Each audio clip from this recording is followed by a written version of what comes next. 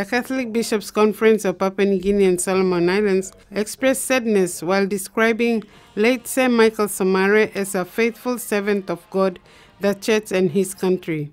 A faithful Catholic, he was a friend of the late Archbishop Leo Arkfeld and also had a very cordial relationship with the Catholic bishops and the Catholic Bishops' Conference. He regularly attended the Pidgin Mass on Sundays together with Lady Veronica Somare at St. Joseph's Parish, Boroko, while in Port Moresby.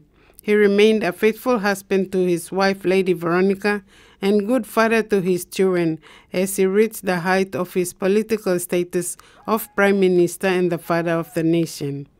President of the Catholic Bishops' Conference, Archbishop Anton Bal said Sir Michael Somare deserves the title of the father of the nation because he was passionate about the people of Papua New Guinea and his country. On behalf of the Catholic bishops of Papua New Guinea, the Catholic faithful, and the whole nation, I extend my heartiest condolences to Lady Veronica and the whole Somare family and offer prayers for eternal repose of the soul of Grand Chief and Seventh of the Nation, Sir Michael Thomas Somare, Archbishop Anton Bal said.